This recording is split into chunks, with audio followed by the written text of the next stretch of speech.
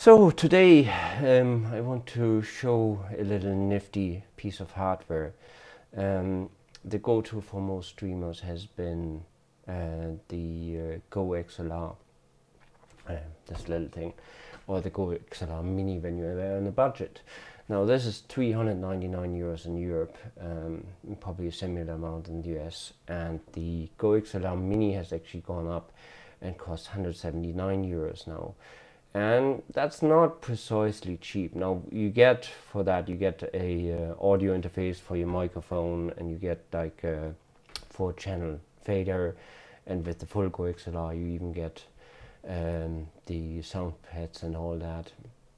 The stand here for the Go XLR is another 38 euros um, so it'll be about 40 dollars in the US and uh, there is no stand for the mini.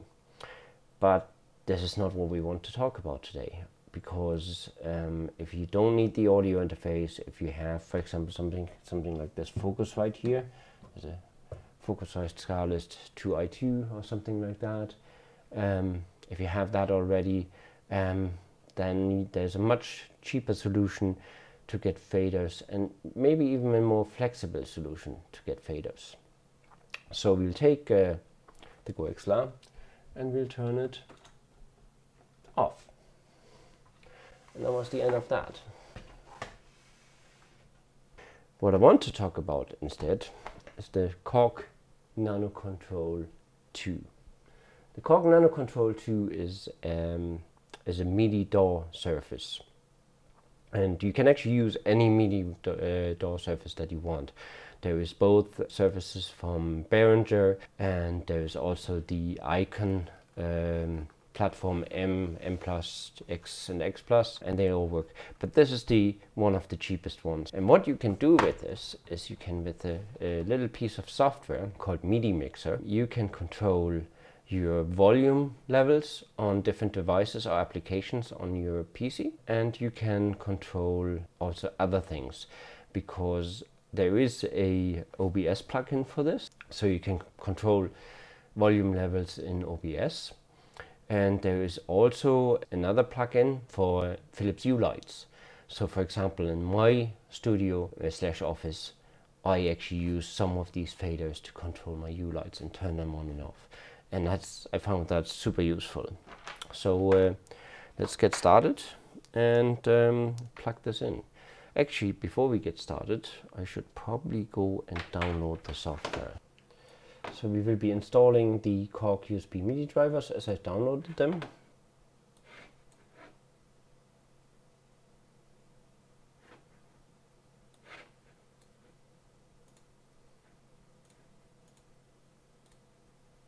Just uh, install everything, finish, and then it requires us to restart the system, so we'll do that now. First things first, we'll plug this in now.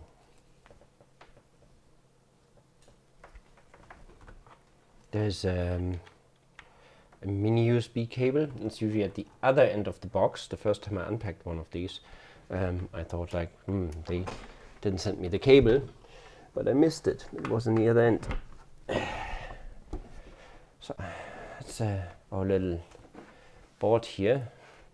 As you can see, it pops up. You must uh, use a Korg MIDI device. Connect uh, to. You must install the. So it has done that and then we go and we find here it's called uninstall Korg USB MIDI device. And it looks like this. So when you go in here in this in this particular case um, we are on MIDI 15 and that is a problem because the cork nano control will not work unless it's in the first 10 slots. So from slot 0 to 9 most programs can't access it or anything so what I generally do is I go in and I find a, um, a device I can uninstall. So what we do is we go option here and we say we want to delete not only Korg devices, right? And then we take these two audio devices here and we uninstall them. Yes. Finish we then go, we restart the uninstall app and you can see it has moved to MIDI 2. Now for good measure, I will be restarting the computer now, just so it reinstalls the USB audio interfaces that I just removed. And I'll make sure that the Korg NanoKontrol still is in the first 10 slots. That's where a lot of people go, uh, basically fail with the Korg NanoKontrol um, when they want to get it to, to work. Now you can use this Korg NanoKontrol obviously as a MIDI DAW with recorder like Ableton or the likes. You can use it in the fashion I will show you today with MIDI Mixer. And I will be making another video how you integrate Korg NanoKontrol into um, Voicemeeter if you want to use that. But for today it's just MIDI Mixer we're going to use. So we're back here. You start the uninstall Korg MIDI tool again. And you can see we are still in, um, in MIDI 2. So that's perfect. And everything else looks good. So yeah, just make sure that your Korg NanoKontrol ends up in the first 10 slots. The next thing we do um, find MIDI mixer.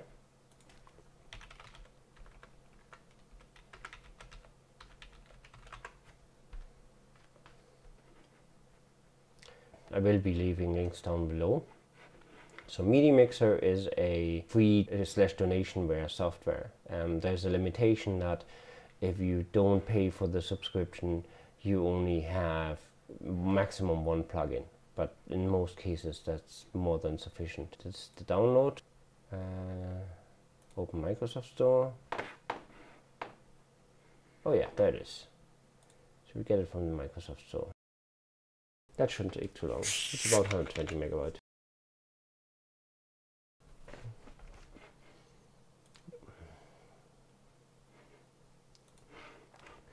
Close the website you then wanted to connect and you want it for private networks because you might want to interact with other things. And it starts out like this. And has already figured out that we have a Korg NanoKontrol, which is perfect. A quick look through the settings. It's been a while for me. I want to start this on boot.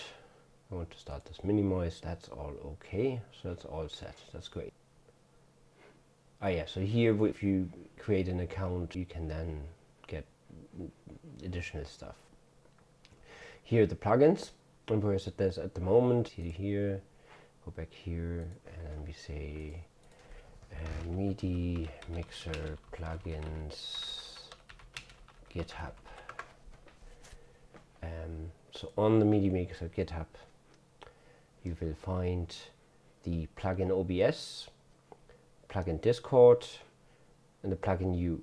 So if you don't pay for the subscription, you can only install, you can install all of them, but you can only use one of them. But it means you can, on top of your volumes, you can also control either Discord or OBS or Hue. I've used, for example, Hue for Philips Hue lights, um, but the Discord and the OBS obviously would also be beneficial. So these are it's fairly straightforward and it's all them uh, all documented on how you do it. So if you go, for example, the Hue plugin here, um, you have uh, download the plugin, extract the plugin where where it's supposed to go, and then basically restart the application. That's all good. So the first thing we do now is we'll go in and in the let's see here we want to assign so fader 8 I want to configure, right? And I put it as my headphones Arctis Pro wireless game. So it's my main fader. Let me look here. I can control the volume and I can mute or unmute with this. So that's perfect. Um, then let's see what, what else we have. We have here so we have, we have all our hardware interfaces, but even better, it also has programs. Now you need to start the program first. So let's say I start, um, I have Spotify and I start a song here, right? So what happens now is I can now go into fader one here and Spotify becomes an option. so let's say I want uh, fader 7 is my Spotify and that means now I can control the volume for Spotify separately from all other audio um, so I can go in and I have the volume on full but I have Spotify let's say running at medium in the background and this is all all of these are the Windows volume controls from the volume mixer. So if, if I take the volume mixer here, see this, this is the Windows volume mixer. And as I move this up and down, it changes these. So that's, uh, that's what that is.